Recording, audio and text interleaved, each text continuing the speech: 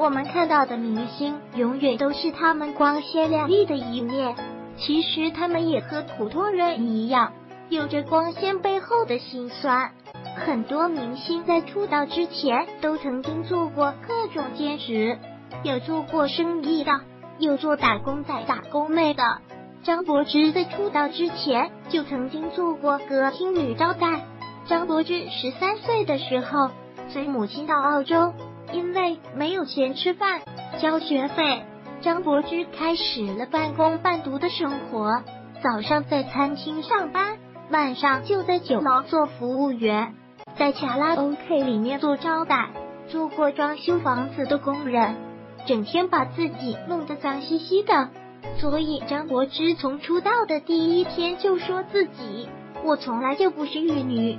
张柏芝早就自曝过自己是单亲家庭，家境不好，早早就在社会上闯荡。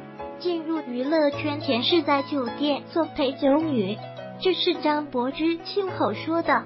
正是在这一阶段，她开始学会抽烟，又出于某种职业上的需要，她也开始喝酒。也正是因为在墨尔本的这些经历，让她比同龄女孩显得更加成熟个性。